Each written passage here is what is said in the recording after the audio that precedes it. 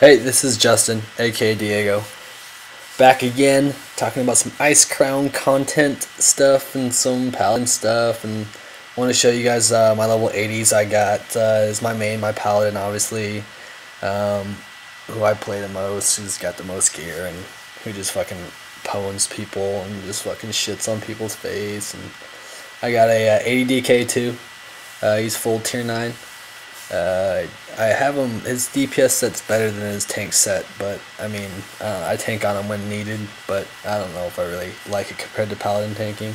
My druid, who I just recently leveled, um, at uh, four piece already, tier eight on him, and then my mage, just almost feel full furious. You can see there, and uh, yeah. So uh, I got a tier token out of the 25 man, so I picked up the 264 shoulders.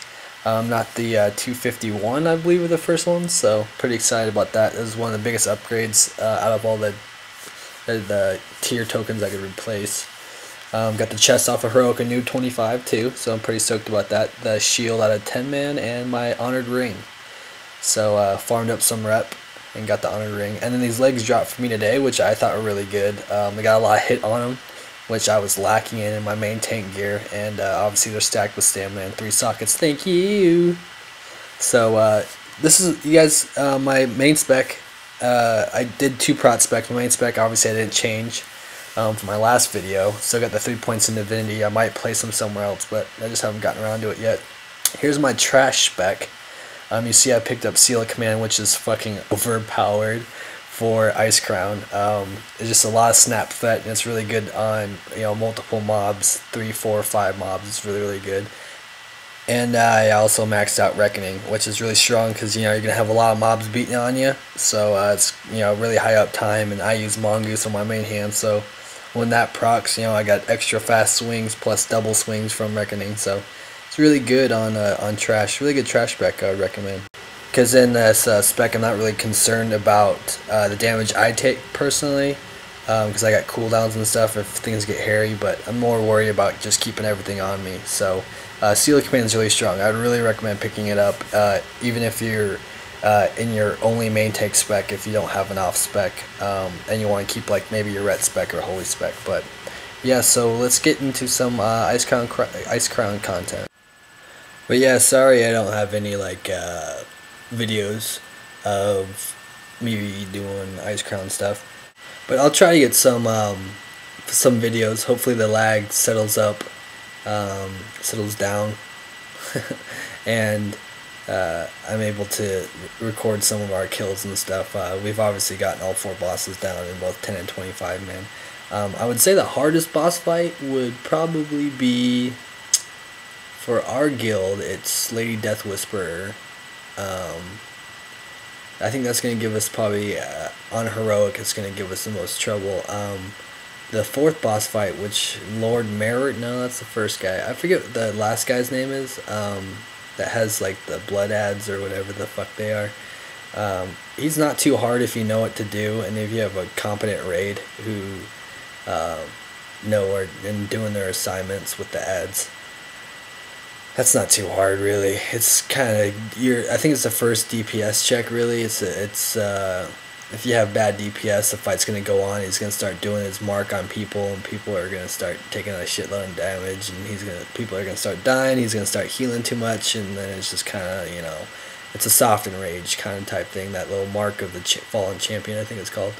But uh but it's fun. If you guys have any questions about the content uh, if you want to see it you want uh, pointers and tips. Yeah, but if you guys have any more questions about um, gear um, and, you know, boss mechanics, if you're struggling with something, let me know.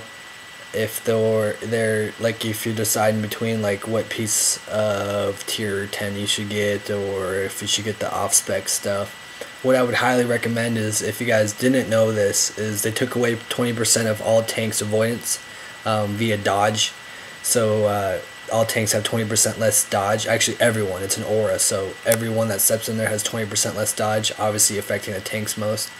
Um, there, all the offset pieces have a lot of. There are a lot of pieces with armor on them. I think there's a chest, there's wrist, uh, there's a back, there's some other stuff.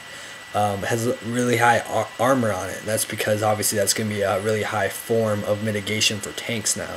So um, if you're deciding between whether to go for the tier 10 or that stuff, um, go for the tier 10 first. In my opinion, I'm gonna get that stuff when heroic comes out because um, I did, I looked at our parses, our WWS stats, and um, the first boss and the fourth boss that are, um, there's only four bosses out as of now, and the first and the fourth boss, uh, from what I saw, only do physical damage to tanks. So in heroic mode, I'm probably gonna wear all armor um, on those fights. Um, the first boss, obviously, if you're an off tank, uh, he, you just eat cleaves.